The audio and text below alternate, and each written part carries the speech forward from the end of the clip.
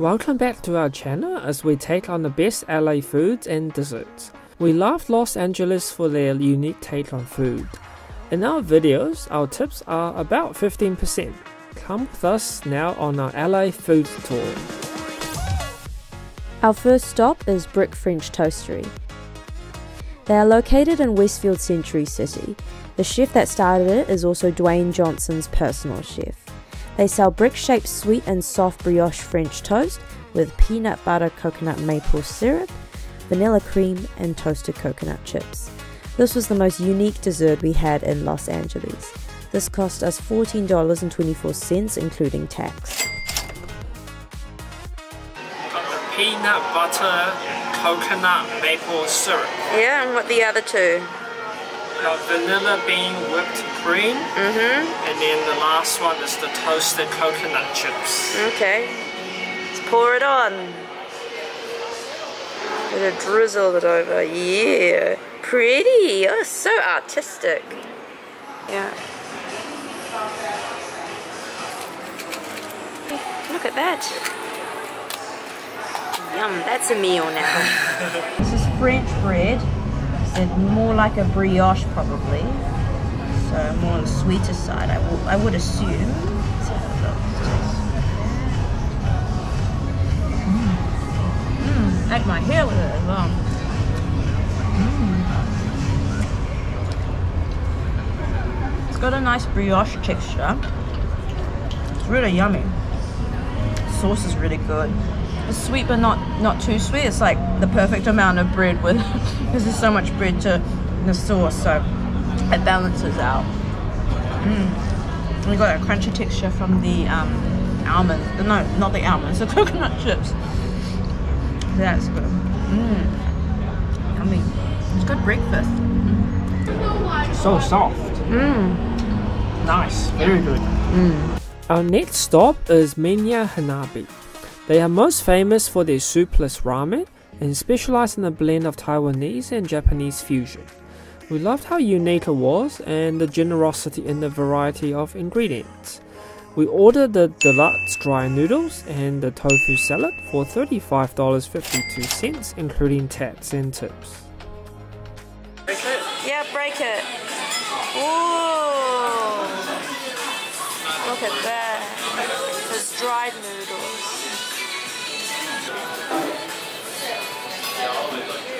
Definitely taste the saltiness of the uh, the mince and the yolk.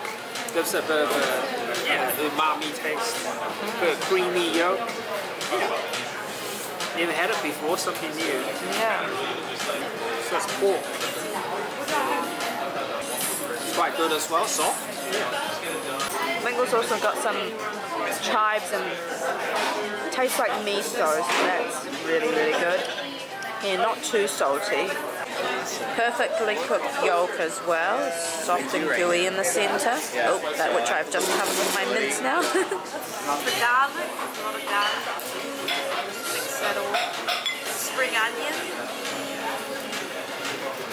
Mix it, mix it, mix it. Is really good, very bouncy, flavorful on the outside.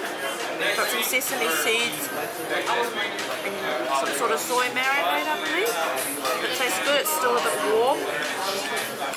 And then you got a lot of spring onion, so you can definitely taste the spring onion. And the seaweed salad just gives a nice crunch as well. So it's good, it feels clean. It's vegan, I believe, so it's for the vegan people out there. So they have this cool policy where you can add rice to any leftover sauce that you have, which is amazing because we don't want to waste. But we're quite full, and Ricky has some leftover rice from the other dish, so we're gonna just combine it ourselves. So just uh, add your rice to the sauce, or add the sauce to the rice as well. That's okay. Let's have a look. And mix it. Can't even see. Soggy rice. Soggy rice. It's a lot more mince to rice, but we should add more rice, but I think we're quite full. It's pretty good. Yeah. Makes the rice flavor. Yeah. Pink's Hot Dogs is a must visit. It is one of the most famous eateries in LA, so be prepared to wait in line. It is also known to be visited by many celebrities, which are all on their wall. They have the widest varieties of hot dog flavors and fillings we have ever seen. We ordered La La Land and the Philly cheese steak for $23.98, including tax, and had it at their very nice eating area at the back of the eatery. It's gonna get messy.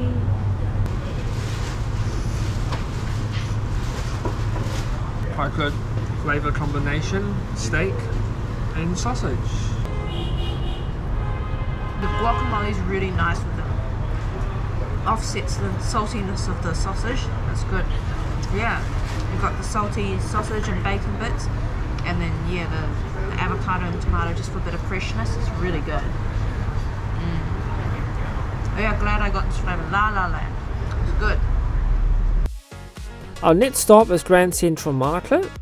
It is located in downtown LA and is home to many eateries of different cuisines, including Japanese, American, Mexican, South American, Korean, Chinese, Filipino, and more. They also have a few dessert options.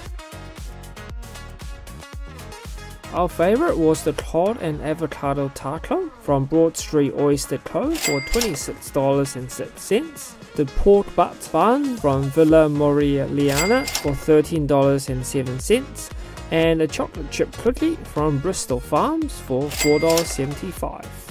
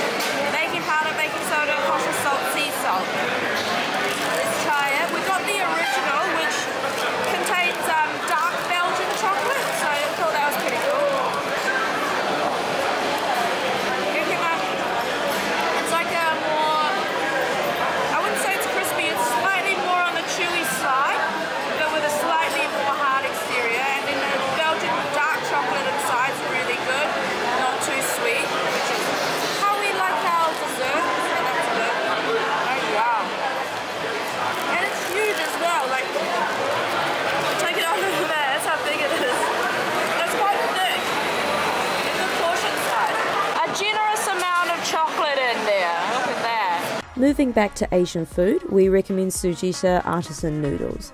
We were baffled by their very unique approach to eating ramen. You dip the noodles into the broth right before you eat it. We ordered their signature tsukemen and salmon rice bowl, which cost $45.43.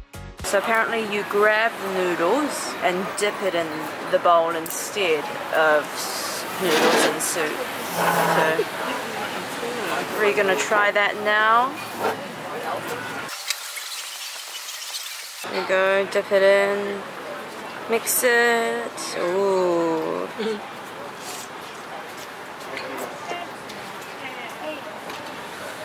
Yeah, it feels different, interesting. It's a very yes. brothy. Brothy. Yeah. Different way to do it, eh? Hmm. Hmm. Hmm. Yeah, it's quite quite nice. Mm. Ooh, it's hot. 要 Fish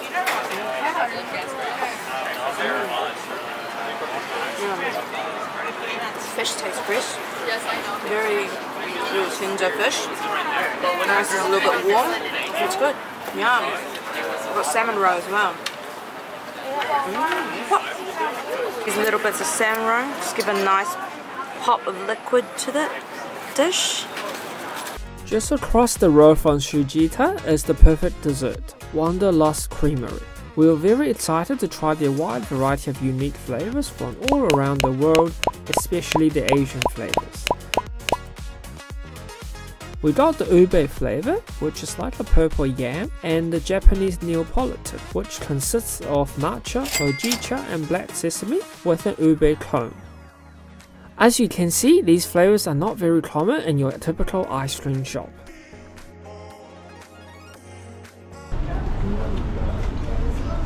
Yeah, I only really taste the hojicha. I don't really taste much else. And tea flavor come tea flavor comes a bit later. Try the ube. Yeah, the ube I can taste the ube, and it's a nice texture, more, more creamy. Try the ube with the ube cone.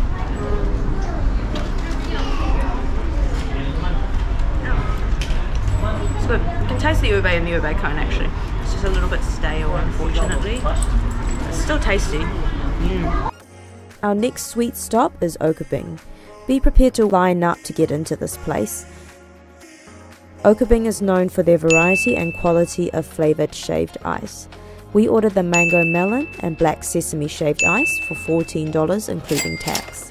The fruit was super fresh and went well with the perfectly made shaved ice. Very crunchy. You just kissed it. it's very, very soft. You can actually taste the black sesame. The mango flavour, a bit more subtle. It's not actually that strong. Nice texture though. Let's try one of these melons if I can get to it. It's nice with the melons. Melon's very fresh, very fresh. Very juicy. Melon's the favourite part actually. How I eat half and how Ricky eats half. Our last stop is In N Out LAX. In N Out is one of the most popular fast food restaurants in California. What makes the LAX airport brunch so special is that while you eat your delicious cheap food, you get the best view of the plane landings in LA airport. The planes fly extremely low and close. We ordered the hamburger and the cheeseburger with fries and a drink for $14.18 including tax. Their menu is simple but they do it well and it's a classic. As well as the cheap affordable food, you can also get some amazing photos of the incoming planes and the restaurant. We hope you guys have enjoyed coming on this food tour with us. Please remember to like, comment and subscribe to stay updated on new videos. See you next time!